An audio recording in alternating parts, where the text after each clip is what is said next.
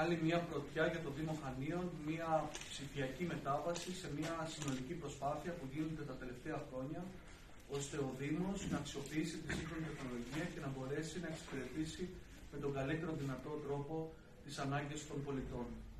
Ε, είναι ιδιαίτερα σημαντικό ότι η καλή συνεργασία με το αρμόδιο Υπουργείο και τον Υπουργό τον κύριο Πιερατάκη αποφέρει καρπούς και ξεκινάμε εδώ από τα Χανιά το πιλωτικό αυτό πρόγραμμα που δίνει τη δυνατότητα πλέον στους πολίτες χωρίς την ανάγκη της φυσικής παρουσίας να διεκπεραιώνουν τις υποθέσεις. Είναι σημαντικό ότι ο Δήμος Χανίων όχι μόνο έχει την πολιτική βούληση για να προωθεί όλες αυτές τις εξελίξεις σημαντικές, αλλά κυρίως διαθέτει το ανθρώπινο δυναμικό σε επίπεδο υπηρεσιών που μπορούν να το υποστηρίξουν. Και θα ήθελα να τους ευχαριστήσω όλους ε, θερμά. Τα επόμενα βήματα θα είναι η επέκταση όλων αυτών των ψηφιακών εργαλείων και έτσι σε λίγο διάστημα, εκτός από την ολοκληρωμένη πλέον δυνατότητα ψηφιακών συναλλαγών, να έχουμε και μια συνολική δυνατότητα επαφής του Δημότη με τον Δήμο χωρίς την ανάγκη της φυσικής παρουσίας.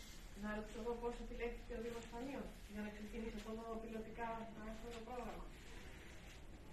Ε, με την πολύ καλή συνεννόηση και επικοινωνία και την, και την καλλιέργεια στενών σχέσεων που έχουν χτίσει το τελευταίο διάστημα, αλλά και αναγνωρίζοντας το Υπουργείο τα σημαντικά βήματα που έχουν γίνει στο κομμάτι της ψηφιακής μετάβασης, έγινε τελική, η τελική επιλογή στον ε, Δήμο Χανίων. Θεωρώ ότι αυτό απο, αποδεικνύει και επιστοποιεί, αν θέλετε, όχι μόνο την διάθεση, αλλά και τα πολύ σημαντικά βήματα τα οποία κάνουν το τελευταίο διάστημα.